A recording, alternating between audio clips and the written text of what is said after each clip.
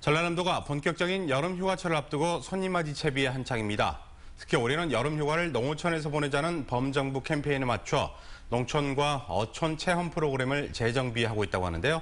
김성면 전라남도 도청 농업경영팀장님 모시고 그 자세한 이야기 나눠보도록 하겠습니다.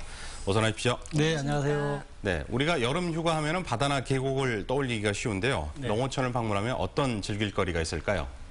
예, 그렇습니다. 그 여름철 인기 있는 프로그램 하면 역시 시원한 물가를 떠올리게 되는데요. 그 다슬기 잡기, 그 맨손으로 고기 잡기, 그 보트 체험이나 바지락 캐기가 있습니다. 특히 농촌 마을에는 옥수수 같은 농작물 체험과 천연 염색, 대통밥 만들기, 다두 체험 같은 다양한 체험을 즐길 수 있습니다. 특히 올여름에는 가족과 함께 농촌에서 멋진 추억을 쌓아보면 어떨까 추천해 드립니다. 네, 농촌이나 어촌을 체험할 수 있는 프로그램이 좀 많아지고 있는 추세 같은데요. 네, 전라남도에도 그렇습니다. 많죠. 예, 그렇습니다. 아, 현재 우리 전남도에 산재해 있는 농어촌 그 관광 자원은 약 3,700여 개가 있습니다. 네. 그중에 농촌 체험 마을이 134개, 어촌 체험 마을이 29개, 농어촌 민박이 3,450개, 관광 농원이 72개소가 있습니다.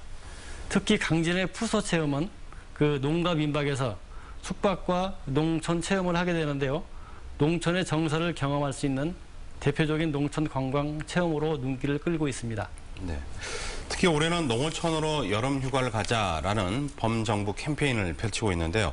전라남도에서는 이에 맞춰서 어떤 준비를 하고 있습니까? 네, 그렇습니다. 그, 그 저희 전라남도는 지난달부터 도내 사업장에 대한 안전 위생 점검 그리고 친절 서비스 교육, 체험객에 대한 안전과 화재 보험을 지원하고 있습니다. 네.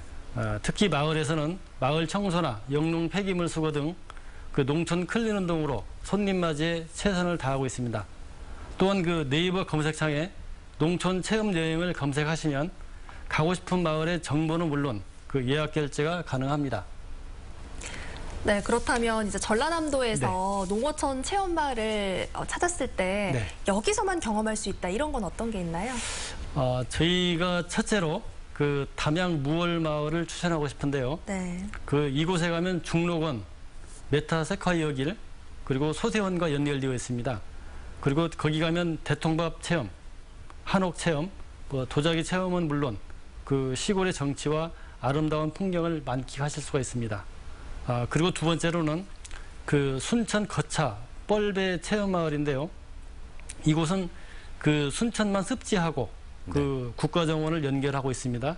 그러다 보니까 거기 청정 갯벌에서 그 뻘배 체험도 하면서 그 스트레스를 날려버리면 어떨까 추천해드리고 싶습니다. 네.